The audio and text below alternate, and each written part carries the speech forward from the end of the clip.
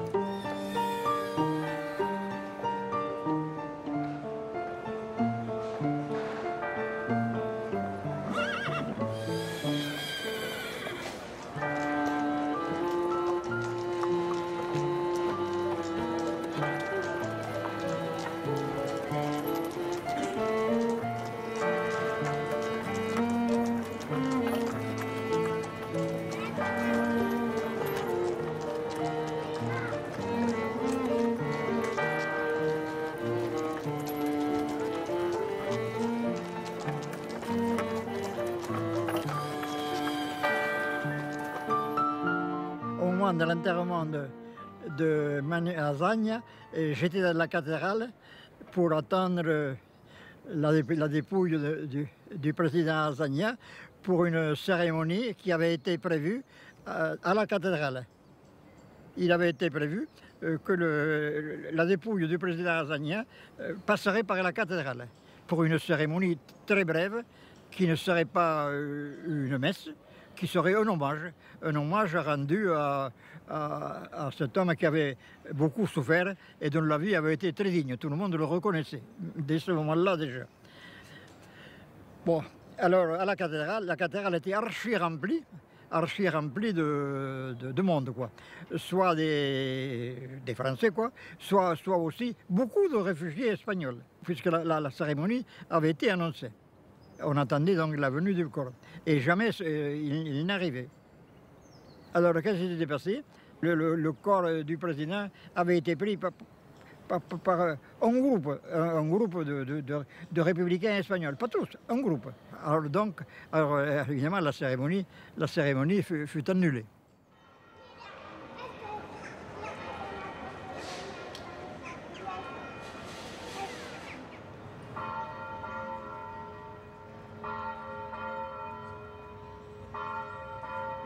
Exactamente las mismas campanas que seguramente él escuchó de pequeño, porque también en sus escritos hay referencias a las campanas, al sonido de las campanas de Alcalá. Entonces yo creo que eso permanece en él. Bueno, tuvo la crisis religiosa que cuenta en El Jardín de los Frailes y en algunos otros escritos que también ahora se han publicado por primera vez, que es en torno a los 13, 14 años y que mm, le hace dejar de ser católico en ese momento. tiene ahí una crisis profunda. Pero conserva y mantiene toda su vida el respeto hacia los creyentes y el gusto por las ceremonias religiosas.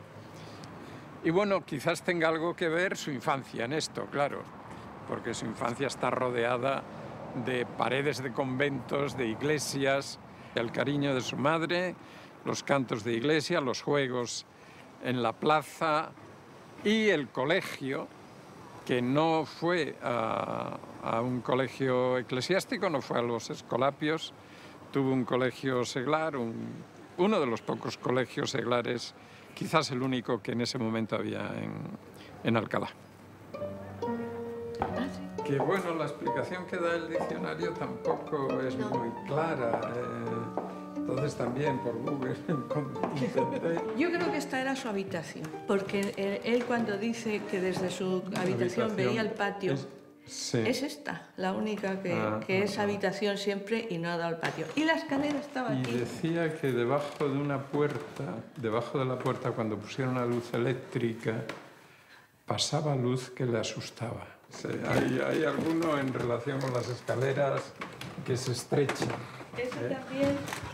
La mesa, sí, la, su mesa de despacho. la mesa de despacho, ¿Eh? claro. Es la mesa de despacho que había en casa, esa sí sé. Claro.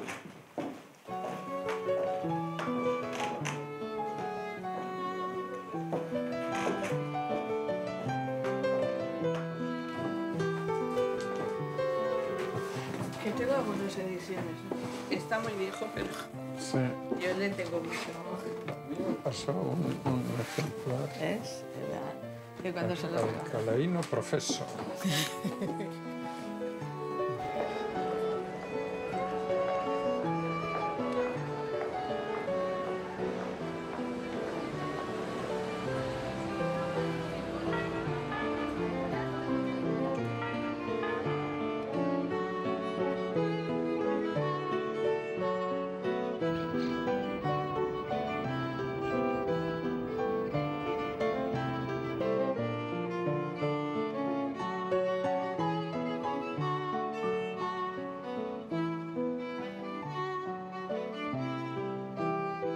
el Ateneo jugó un papel muy importante y precisamente en los años en que Azaña fue presidente en la gestación de la República Española.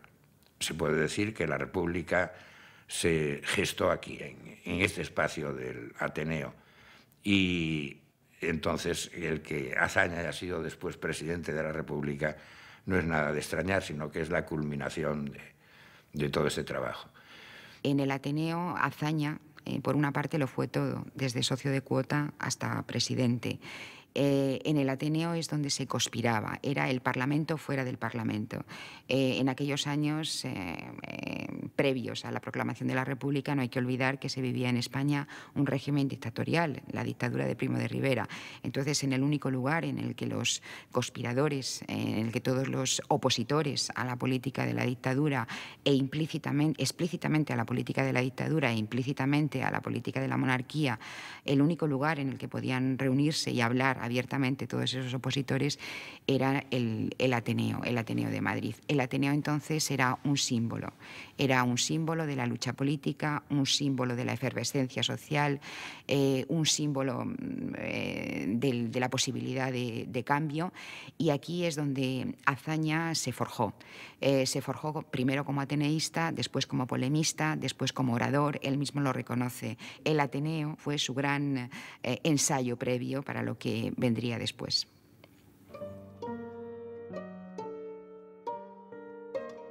Le problème consiste à créer un État nouveau au sein duquel nous puissions vivre tous ensemble.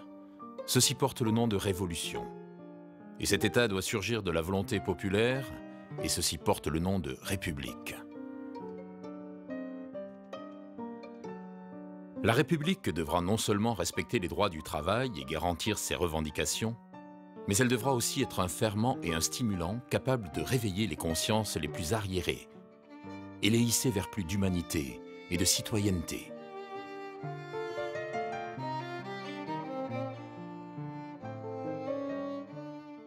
En las Cortes Republicanas, Azaña se reveló como el gran político del momento, como la gran figura del momento, como el hombre que siempre tenía la solución y la palabra eh, perfecta en, cada momento. Eso eh, le hizo rápidamente convertirse en, la encarnación de la República, en el símbolo por excelencia de la República, en el político por excelencia de la República. Le confirió un gran prestigio entre sus amigos, naturalmente, y también eh, le provocó un cierto enfrentamiento con sus enemigos.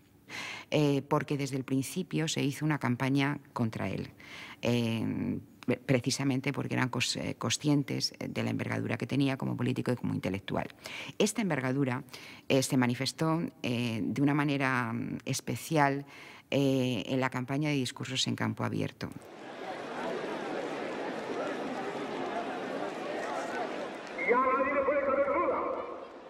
de que la guerra actual contra la nación española incluso Azaña no preparaba sus discursos, hablaba sobre la marcha en las Cortes, por ejemplo, pero tenía la capacidad de llegar al, gran público, de transmitir. La guerra exactamente lo contrario a lo que se proponía Je ne sais pas, il est venu deux fois. Une fois qu'il était à la Plaza de Toros, une autre fois que c'était al campo de Mestalla. Alors donc, euh, mon père, il aimait les discours, il était devenu très républicain à, ce moment-là, et moi, étant donné qu'il me prenait toujours comme, euh, je ne sais pas, pour défense contre ma mère qui toujours respectée, disait, jamais ne pas qu'il se fasse un homme. Et alors donc, ben, quand même, j'avais 16 ans, 17 ans euh, à ce moment-là. Ça m'avait frappé de voir tous ces gens-là qui parlaient sans regarder de papier. Et lui, il avait cette spécialité. Et après, quand on allait à la maison et on lisait les discours, c'était quelque chose de formidable.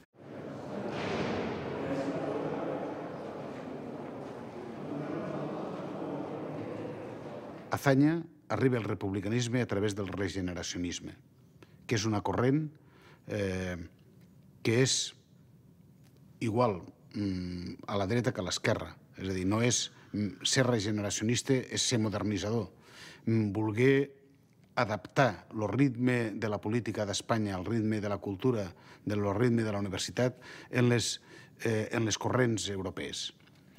I, i per tant, bueno, dins d'aquest moviment hi estan la major part dels intel·lectuals de l'època.